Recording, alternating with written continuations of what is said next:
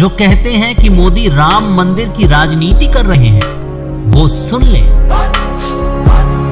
राम मंदिर बनाने से पहले मोदी ने चार करोड़ गरीबों के घर बनवाए हैं।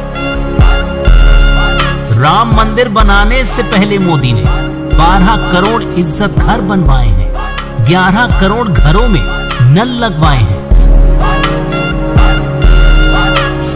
राम मंदिर बनाने से पहले मोदी ने पचपन हज़ार किलोमीटर नेशनल हाईवे बनवाए हैं। साढ़े सात लाख किलोमीटर ग्रामीण सड़कें बनवाई हैं। दो दो डेडिकेटेड फ्रेट कॉरिडोर बनवाए हैं। राम मंदिर बनाने से पहले मोदी ने एक सौ उनचास एयरपोर्ट बनवाए हैं। 111 वाटरवेज बनवाए हैं।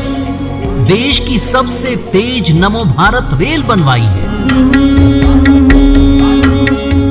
राम मंदिर बनाने से पहले मोदी ने सात आईआईटीज बनवाए पाँच हज़ार कॉलेज बनवाए हैं। 400 से ज़्यादा एकलव्य स्कूल बनवाए हैं। 115 मेडिकल कॉलेज बनवाए हैं।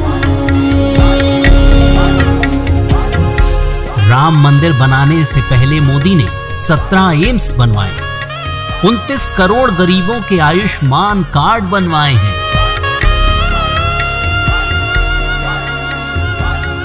राम मंदिर बनाने से पहले मोदी ने दस हज़ार से ज़्यादा जन आरोग्य केंद्र बनवाए हैं। साढ़े पाँच लाख से ज़्यादा कॉमन सर्विस सेंटर बनवाए हैं। राम मंदिर बनाने से पहले मोदी ने सेना के लिए तेजस, प्रचंड और ब्रह्मोस बनवाए हैं। और अब राम लला को उनके जन्म स्थान पर पहुँचाने का वक्त है। उनके लिए दिव्य और भव्य मंदिर बनाने का वक्त है। तो आ रहे हैं मोदी, अयोध्या 22 जनवरी को।